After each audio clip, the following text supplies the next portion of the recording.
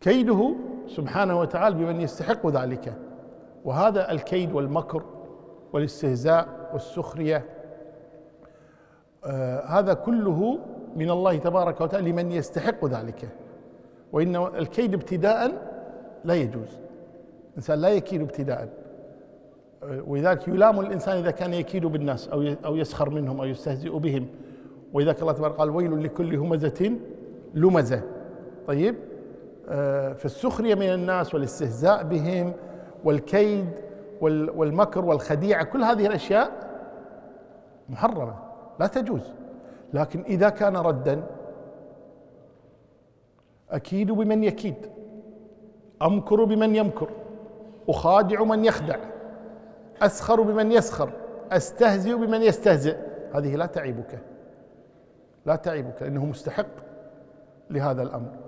ولذلك نوح عليه الصلاة والسلام كلما مر عليه ملأ من قومه سخروا منه. ماذا قال؟ قال إن تسخروا منا فإنا نسخر منكم كما تسخرون.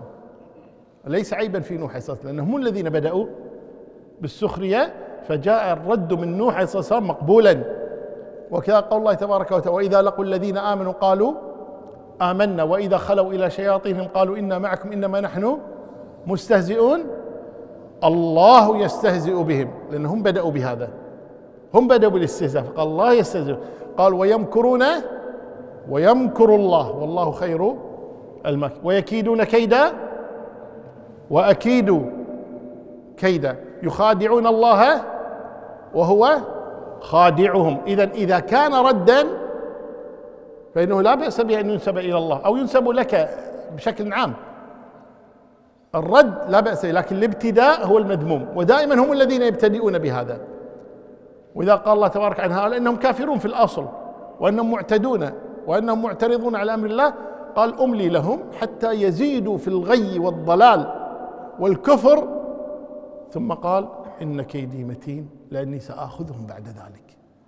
لأنهم مستحقون لأن هذا من الكيد من الله بهم سبحانه لأنهم هم الذين بدأوا بالكفر والعناد والصد والند عن دين الله تبارك وتعالى إن كيدي متين أي قوي صلب شديد.